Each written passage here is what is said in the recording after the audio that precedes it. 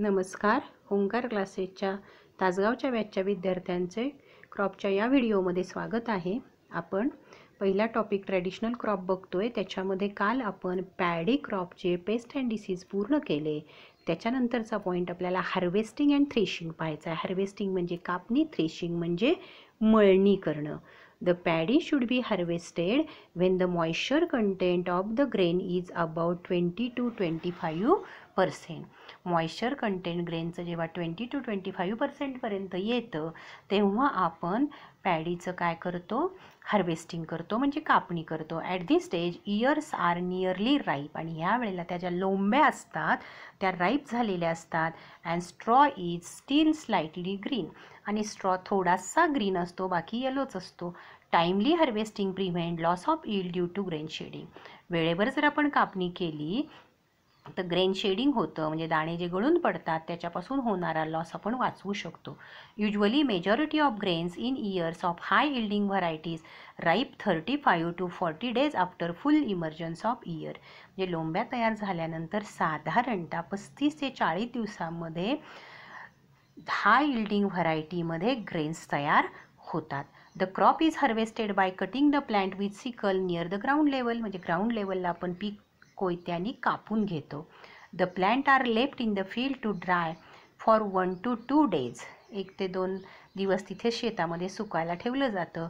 Or they are tied in bundles किंवा त्याच्या मोळ्या काय म्हणतात बंडल्स बांधल्या जातात जुड्या बांधल्या जातात पेंड्या बांधल्या जातात and dried for two to three days दोन ते तीन दिवस सुकवलं जातं. The drying is continued till the moisture content in the grain is reduce to twelve to thirteen percent साधारणतः ग्रेनमधलं moisture content twelve to thirteen percent एवढं कमी येईपर्यंत ते सुकवलं जातं. The crop is threshed by beating the plant by sticks म्हणजे स्टिकच्या साह्याने त्याला झोडपलं जातं. Or under the feet of bullock म्हणजे पूर्वीच्या काळी बैलाच्या पायाखाली ते तुडवलं जायचं. Small sized pedal thresher are also in use छोट्या आकाराचे पॅडल थ्रेशर पण आता उपलब्ध आहेत. Nowadays mechanical harvesters are available आता मेकॅनिकल हार्वेस्टरचा पण वापर केला जातो. इट व्हॅरीज फ्रॉम आता पुढचा पॉईंट आपल्याला बघायचा yield it varies from forty to fifty quintals per hectare for early varieties and sixty to seven quintals per hectare for late variety early म्हणजे लवकर येणारी लेट म्हणजे उशिरा येणारी त्याच्यामध्ये थोडंसं उत्पन्न आपल्याला कमी जास्त बघायला मिळतं. आता त्याच्यानंतरचा पार्ट स्क्वेअर ब्रॅकेटमधला आपण बघूया.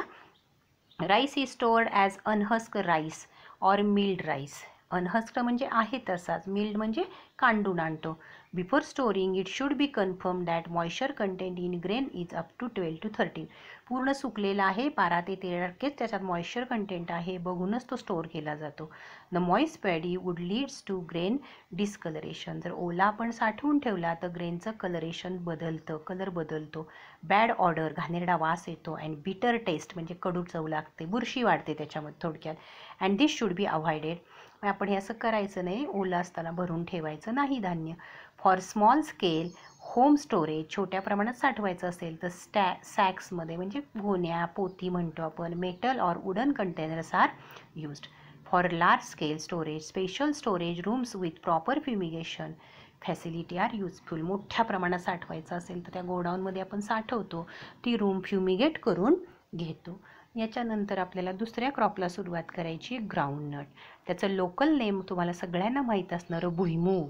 बॉटनिकल नेम आहे ॲरॅचीस हायपोजिया फॅमिली आहे लेग्युमिनेसी ओरिजिन आहे साऊथ अमेरिका त्याला म्हटलं आहे ब्राझील पण आहे. ग्राउंडनट दाखवलं आहे शेतातलं ग्राउंडनट दाखवलं. The name groundnut is derived from the Greek word Arachis meaning legume legume म्हणजे शेंगा.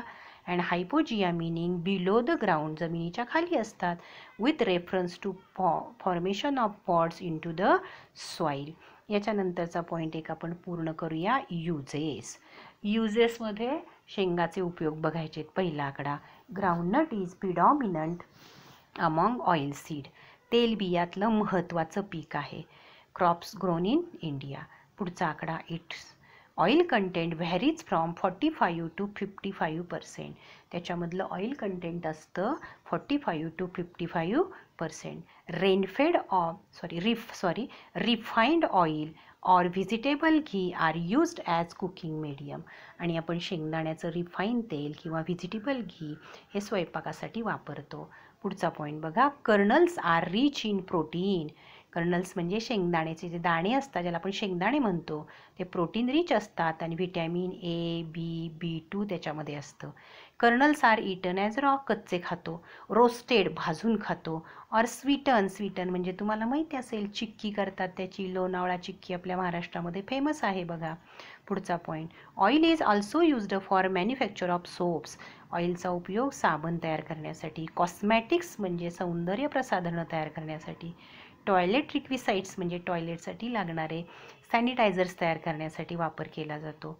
पुढचा point groundnut cake is used as cattle feed ज्यावेळेला आपण शेंगा गाळून आणतो तेल काढून आणतो त्यावेळेला जो केक राहतो म्हणजे ब्राऊन कलरचे असे फ्लॅट फ्लॅट पोर्शन्स राहतात त्याला आपण म्हणतो ग्राउंडनट केक पेंड म्हणतात बघा दुभत्या जनावराला खायला घालतात. त्याचा आपण जनावरांसाठी वापर करतो किंवा लो क्वालिटी असेल तर मॅन्युअर म्हणजे खत म्हणून वापर करतो. Groundnut is also consumed in the form of confectionery product म्हणजे साधारणतः बेकरीच्या प्रोडक्टमध्येही त्याचा उपयोग केला जातो. पुढचा point vines are feed to the livestock म्हणजे त्याचे जे वेल आहेत आपण शेंगा काढून घेतल्यानंतर तर ते वेल आपण जनावरांना खाद्य म्हणून खायला देतो.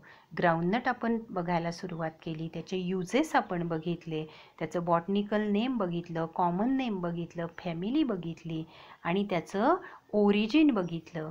एवढेच पॉईंट आपण आत्ता लक्षात घ्या फॅमिली त्याची लेग्युमिनेसी होती. उद्याच्या लेक्चरमध्ये आपण पुढचे पॉईंट बघायला सुरुवात करू. तुमच्या आता दोन टॉप पॉईंट झाल्यानंतर आपण वीट पूर्ण केला आपण पॅडी पूर्ण केला त्यामुळे जे कॉमन पॉईंट्स आहेत हेडिंगचे हे तुमच्या लक्षात आले असतील. उद्या पुढच्या पॉईंटला आपण सुरुवात करू. थँक्यू